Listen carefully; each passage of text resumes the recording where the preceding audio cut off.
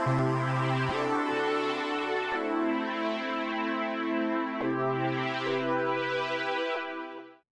right, so I want to show you a demonstration of, uh, of some new technology that we've put together. So we're talking today about Pindrop's Deep Voice Biometric System, uh, and we've put together a prototype of how that might work with an Amazon Echo. Uh, pretty soon, we are going to be operating in a conversational economy where we interact with most of our devices by voice. And that's a thing that Pindrop is really good at. Our mission is to provide real-time security, trust, and identity for every voice interaction. We pulled some of that technology together into this prototype that I want to show you, which protects, in this case, Bitcoin transactions uh, through Coinbase uh, using nothing more than my voice. Alexa, sell $7 of Bitcoin. Ready to place your order to sell 7 US dollars of BTC. Proceed. Alexa, yes.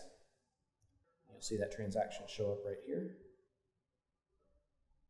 Matt, your order to sell 0.00093572 BTC for 7 US dollars has been placed with reference code CWRG7MTY. So why don't you try and sell some of my Bitcoin? You mind if I empty out your wallet? Go for it. All right. Alexa, sell $20 in Bitcoin.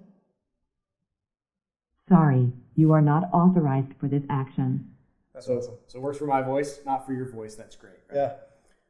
One of the things that is happening in technology, though, uh, is that there, there are vast advances in lots of different voice technologies.